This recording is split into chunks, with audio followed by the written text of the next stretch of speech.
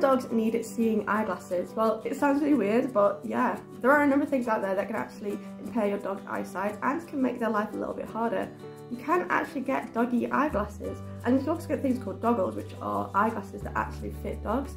These can help your dog see better, but also protect their eyes as well. But what can cause vision impairment in dogs? Well, actually a number of things, and these include glaucoma, macular de degeneration, cataracts, hypertension, which is uh, high blood pressure, diabetes, chronic dry eye, tumours and cancer. But doggy glasses actually might not be just for vision impairment. You can get goggles for your dogs to um, protect their eyes from things like sleet, from rain, from snow blindness if you live somewhere like that, and they are widely available and can really help your dog. If you think your dog might need doggy glasses or have vision impairment, get them straight to the vet to get them checked out. There are a number of things that your vet can do to help check, uh, check them out, but also to help your dog as well.